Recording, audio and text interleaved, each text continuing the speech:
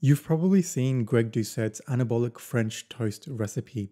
It's one of the first videos that I've seen from his, and it's what made me want to follow him in the first place. If you haven't, I'll have the link up here or down below in the description box.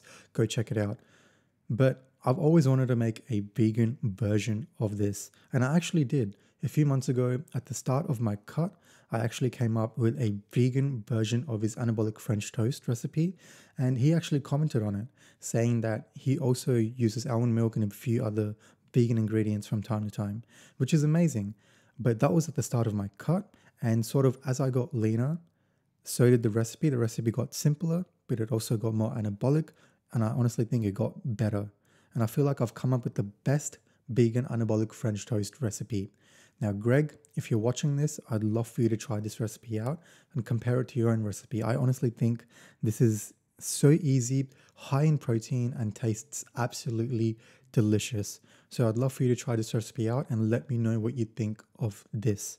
This is the recipe that I used to get me looking from this to this obviously mixed with training harder than last time, but this recipe was so helpful in hitting those sweet cravings whenever I was craving something sweet like pancakes or just in general. And it really used to fill me up for a long time. So I owe this recipe a lot.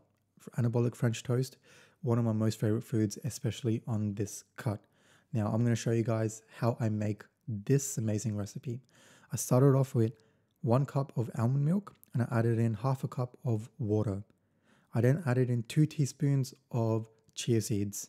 Now I'm using a mixture of chia seeds, hemp seeds, and flax seeds. It's called HC, but you could either use grounded flax seeds or grounded chia seeds. It doesn't matter. Two teaspoons. This is going to act as the binding agent for this recipe, sort of like the vegan egg replacement. So don't this this ingredient is really important. So make sure you're using chia seeds, flax seeds, and then we're going to add in half a teaspoon of baking powder. I then added in one scoop of vegan protein powder. I'm using salted caramel, and this had such a nice um, taste. This added such a nice taste to the bread.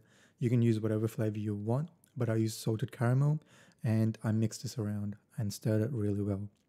I then added in three pieces of low carb, high protein bread. Now, I'm not a fan of protein bread. I think it tastes like cardboard.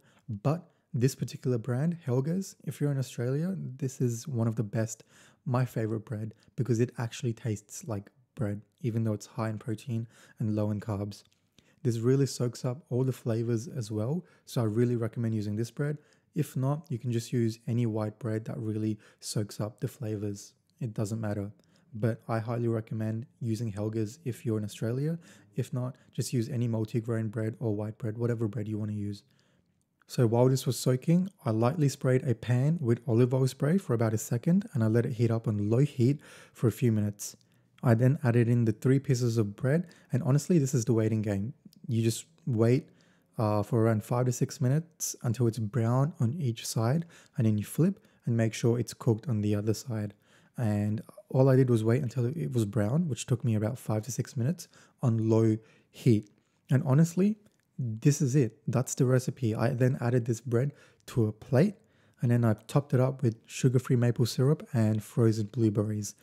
As you can see, this recipe is super, super simple. I'm amazed at how easy this recipe is and it tastes absolutely amazing. Of course, you can add whatever else toppings you want, bananas, any kind of fruits. But the bulk of this recipe is the almond milk, the bread, the chia seeds, and the protein powder. And that's where you're going to get the protein from. In this case, I'm getting most of my protein from the bread. But regardless, this is such an amazing recipe and it just tastes so good. And I owe this recipe a lot during my cut because whenever I used to crave something sweet, like I said, I would just have this and it would fill me up for a long time. So, Greg, if you're watching this, I'd love for you to try this recipe out. It's super simple, as you just saw, and this is how I've made my vegan gains. So, let me know what you guys think. And if you want to see what other foods that I eat every single day to get shredded as a vegan, you can click right here.